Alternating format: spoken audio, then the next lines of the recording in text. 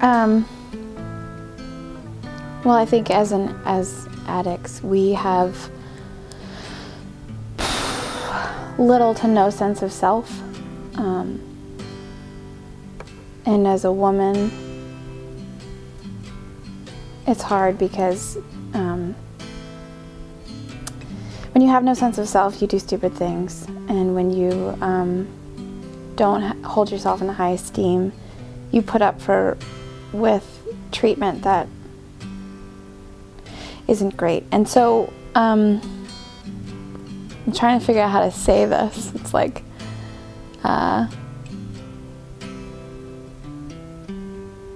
well, as a, as a as a young woman too, I think that like it's a lot. A lot of times I'm not. I don't feel like I'm taken seriously. Um, but as a woman too, I see. I've seen it when I was out, and I've seen it in recovery. Um, when you don't have a sense of yourself, you try and get the any kind of attention that you could get, um, which could you're looking for the positive, but you get the negative. And I think in our culture and throughout, there's a very objective view on women.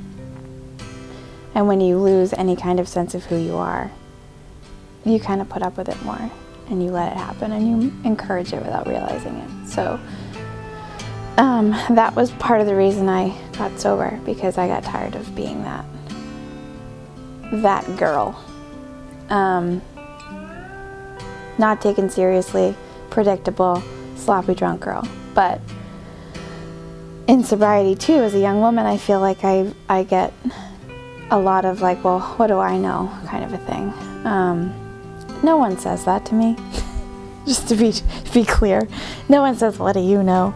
But um, I get that kind of mentality at points. I get that feeling. Um, Just kind of yeah, I mean, just you know, we're all we're all one and the same, and you get people get people get all alcoholic, addict. Go to your own go to your own corner, you know, like which I think is I get it, but I don't get it because we all suffer from the same disease as far as I'm concerned. Um, I really think that it's important that men have a place and women have a place, and they have their own places where they can speak about those things. Because being a man, um, I obviously don't know anything about it, but I understand there's a lot of pressure put on men to be a certain way, just as there is for women to be a certain way. Um, and that pressure also can come out and go very wrong with addiction because we can't handle pressure. so um, there's a lot of things that go into it. I think it, in just being a person, but then being a person who's lost a sense of yourself and who is struggling to find a way and struggling to find themselves. The gender role gets stuck in there, and it's so easy for us to get derailed. And um, you know, like racial relationships are a big no-no because it's another means of running away from the truth and looking at yourself.